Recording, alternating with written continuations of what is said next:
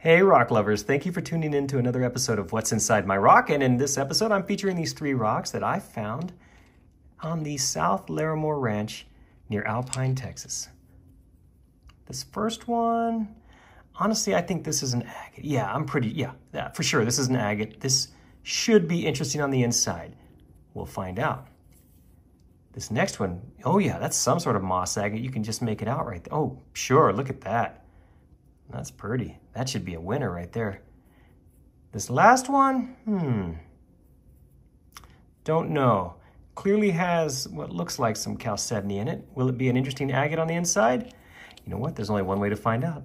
Follow me into the shop. Let's get these on a saw, cut them open, and find out what's inside my rock. The saw is ready. Let's get the first rock on it. The cut is finished and all right, interesting. Next rock. The cut begins. And it's finished. Let's peek inside. Ooh, all right. Last rock. Let's get it cut. All right, cut's finished and all right.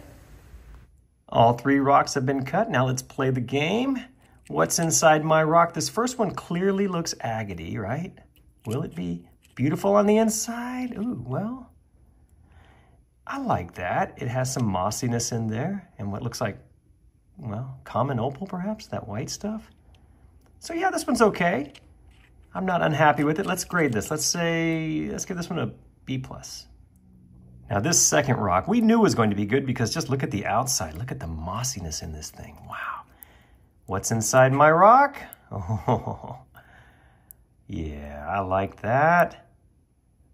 Very pretty.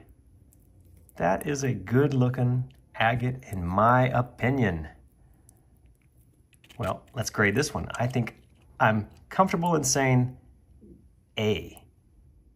And now for this last one, which looks like a little bitty agate, right? You can see some stuff on the outside. What does it look like on the inside? Uh, well, hmm.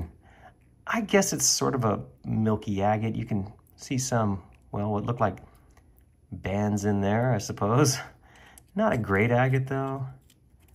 So let's say for a grade, let's give this one a, hmm, let's say a B minus. Hey, thanks so much for watching this video. I hope you enjoyed it. And please remember to check my other videos for more like this. Thanks again.